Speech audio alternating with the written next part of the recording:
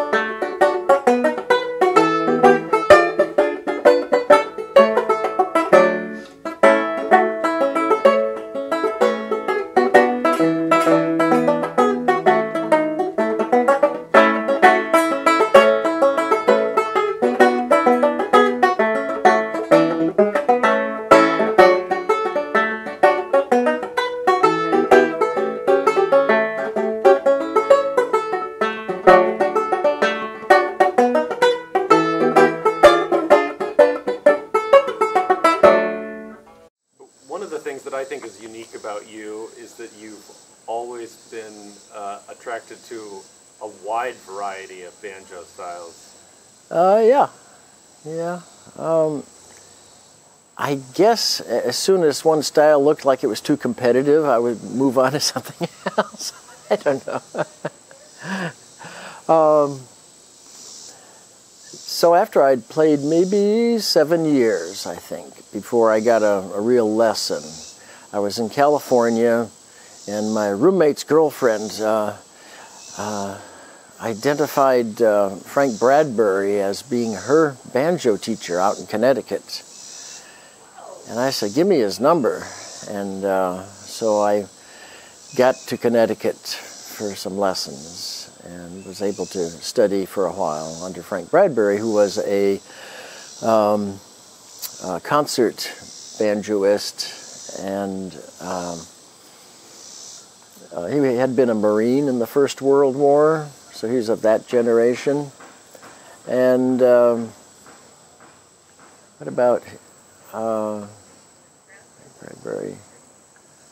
Bradbury. Anyway. So, oh yeah, he wrote the book that Mel Bay has had out, had for many years since the 60s on fingerstyle banjo. Still good ba banjo book. If anyone wants to learn that style, I recommend the Frank Bradbury book. Okay. That it's in, still in publication. Um, and I've been using it to teach from occasionally. Uh-huh. Um, and of course, that ties into old time music. How? Well, uh, a lot of the tunes I was learning in that first book were jigs and reels and hornpipes. And um, then we come to people like uh, um, Fred Van Epps, who influenced a lot of the uh, country players.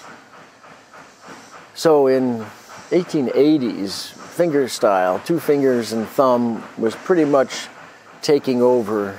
It was the hot new thing right. from clawhammer. And um, as recording artists go, Vess Ossman and um, and Fred Van Epps were the ones to listen to. There, there were others too on uh, cylinders and discs and so people imitated them or, or attempted to. They were using, uh, well, Ossman was an ear player, but let's say uh, a lot of them were using music and transcribing, uh, uh, transcribing from band pieces and things. And they were playing all the popular tunes. You know, right. popular tunes, yeah. Which these days, those old popular tunes are now folk songs, so. Sure.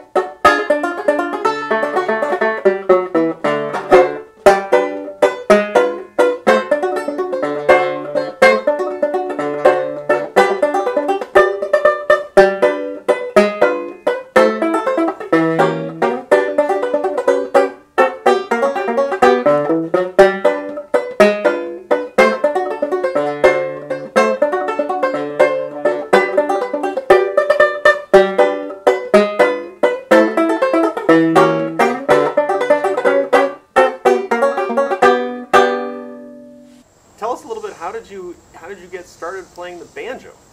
Oh, that's uh, interesting. Uh, I was in high school, and uh, Where was this? in Illinois, Okay. and uh, um, I had been listening to Kingston Trio, um, Pete Seeger, uh, and um, one day uh, at our school, Hobart Smith came by and played. About two weeks later, I bought my band, my first banjo, in, at, at the Old Town School in Chicago. Remember what kind of banjo it was?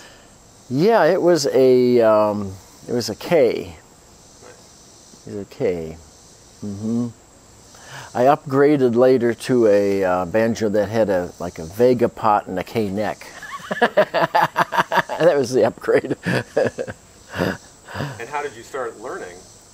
Um, books, books, a lot of books. Um, uh, I had some records. I had uh, New Dimensions in Bluegrass, and I had Frank Proffitt, and um, uh, some of those recordings that were in the '60s there that were, and I, my tastes were already leaning to kind of the earlier stuff. Um, and books. I bought all the books I could find, right? Tablature, and uh, Pete Seeger's book was the first, and uh, um, uh, went on and on. Uh, and one of the books I picked up was written in music notation.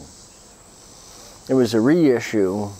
Probably the uh, publishing company uh, decided it was the folk boom. Let's re- let's republish our book from 1890 or more likely 1900, and um, the Lange Fisher book. And so, but I had to have piano background, Okay. so it was I just had to puzzle it out a little bit, especially since it was in A notation. So I started pretty early on.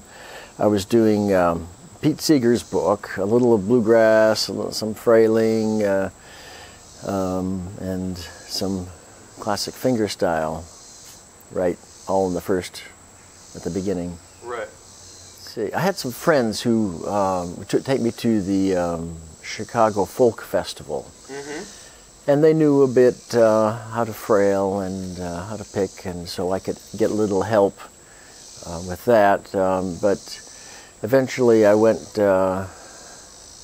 I went to visit Wade Ward after I'd been playing a few years and uh, stayed at, around his house for a few days during the festival back in the, uh, 69, no, 68, no, 67, 67 maybe, 66, 67, back then. And uh, he showed me some stuff. And uh, Okay. What was that like? Tell me about that. Um, well, you know, uh, he had a, a cow and um, a little house, and um, every morning he they'd take their milk. He the, the oh, Kraft would come down and pick up the milk at all the houses. um, had to uh, had, I slept in the uh, car. Slept, oh, I had a little uh, Comet station wagon. And I was there with a fellow from school. Uh, the two of us, he was learning banjo too. Uh, that was Stan Volk. I don't know what happened to him. Uh, and we went off, uh, stayed around there, and I, I very closely watched uh, uh, Mr. Ward and would copy down on paper I would make sure I, I got it right, and then I would copy down uh, in tablature, I guess. I guess I was I wrote it tablature. He said he'd never seen that before. I learned a few tunes and uh, forgot a couple, a couple tunes. Uh, anyway, that was good. It got me to hold my hand. I was imitating his hand, got holding my hand right. Um, and then I went on and on, played, and uh, went to school and went to college for a while, and uh, played out in the streets and stuff. Uh, went out to California, San Francisco area, played out there, played around the old time scene there, learned to fiddle and uh, other stuff.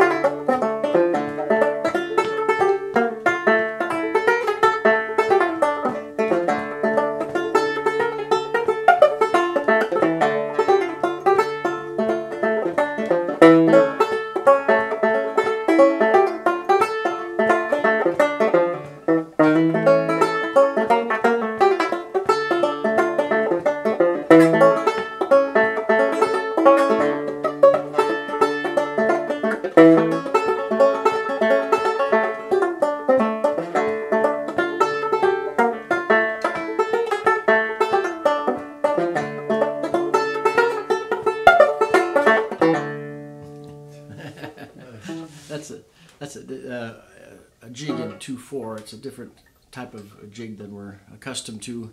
We think of six eight jigs mostly, Right. but these were very common 1880s and 90s. And oh well, as far as the music itself, I think it's it's more of a challenge. It's it's meatier in a sense. Right. Uh, you're uh, learning uh, when you're playing this, you're playing chords and melody, which makes it a solo style that you can play by yourself. Right. Bluegrass, for instance, banjo doesn't stand that well by itself. It needs a guitar and a bass, and you know it's sort of developed around that.